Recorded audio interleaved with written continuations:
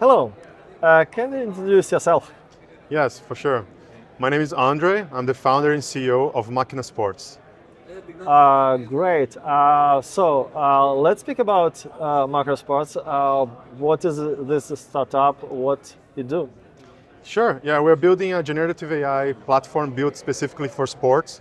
So it's a B2B developer toolkit, serverless uh, generative AI platform. So uh, sports organizations can build AI agents in our platform, deploy that, and then you have an API endpoint where you can integrate your existing stack, your existing website, your existing app, and that enables a lot of new use cases for fan engagement, uh, content generation at scale, gamification use cases, all based on real-time statistics of the events, the matches, mm-hmm. also news from the web, unstructured data, odds, and all these different contexts for sports. So we synchronize everything mm-hmm. in a semantic layer for your sports use case. Uh, what type of sports you, you support?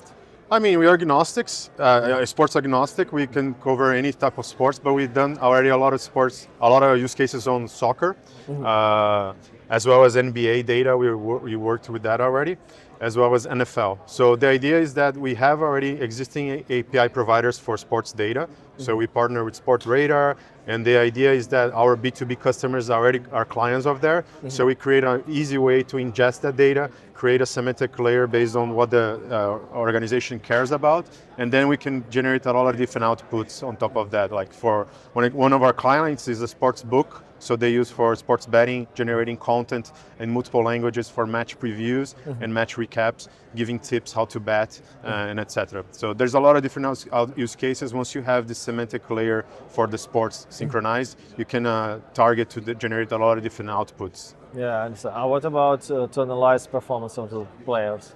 Yeah, we haven't done that a use case there yet. We are talking now with a gym, uh, MMA gym in Brazil. They mm-hmm. want to use our stack to help their fighters to analyze upcoming fights. Mm-hmm. So how they should, you know, tackle the upcoming fights. So generating in natural language some sort of reports.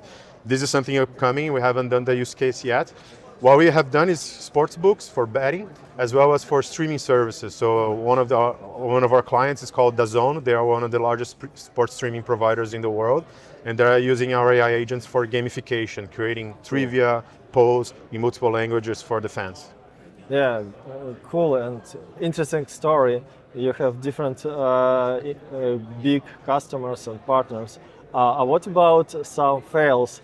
Uh, what fails you got pre, uh, for in, in your history?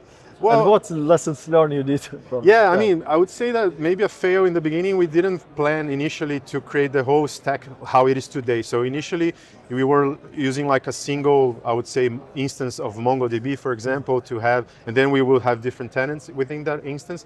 But then growing more with the enterprise use cases, we realized that we need to containerize that. So make individual pods for each organization. Actually, we do it at a project level.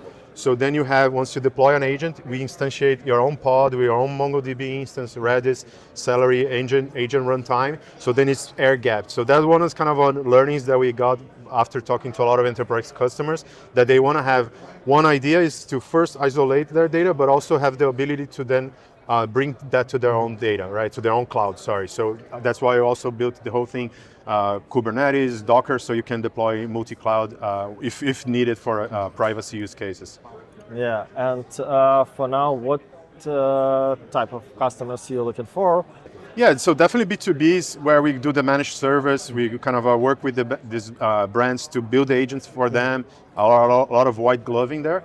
But we also launched our developer studio, so it's open to any developer to sign okay. up get an API key and start building that. So we have a Discord now with 60 developers learning our documentations. That's also some startups starting to build on our stack. Uh, oh, it's, it's so yeah, cool. yeah, that's so, also we're trying to. So it's possible also for developers to build. Exactly. Yeah, we wanted to also learn with developers how we should build this better. So of course we we have already designed partners, but the idea is also to be open developer community first.